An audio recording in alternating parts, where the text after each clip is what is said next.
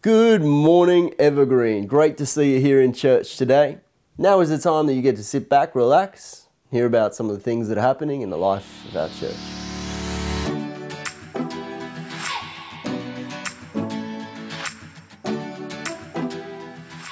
Well, Evergreen, I have good news and I have bad news. Let's start with the bad news because you already know it.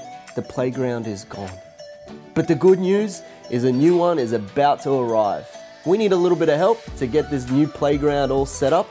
And so if you're free on June the 23rd at 9 a.m., we would love your help. Now, for safety purposes, we need to keep it at high school age and above. But if you're interested in helping us out, make sure you visit Info Central right after the service. Gentlemen, this is your final call because this coming Saturday, June the 16th, will be our men's golfing tournament at McKay Creek Golf Course in Hillsboro. Lunch is at 12, tee off is at 1 p.m. We've even put a practice putting green in the lobby for you. Make sure you swing by Info Central sign up today. Next Sunday, we're going to be having baptisms at both the 9:30 a.m. service and the 11:15 a.m. service. If you haven't taken that next step in your faith yet, be sure to sign up at Info Central right after the service today.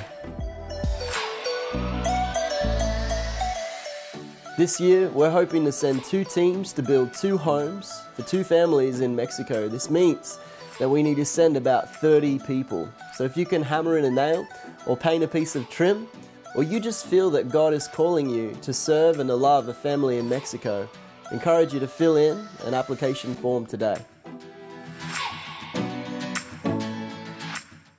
The final invite that I have for you today is regarding our e-kids and our e-youth summer camps.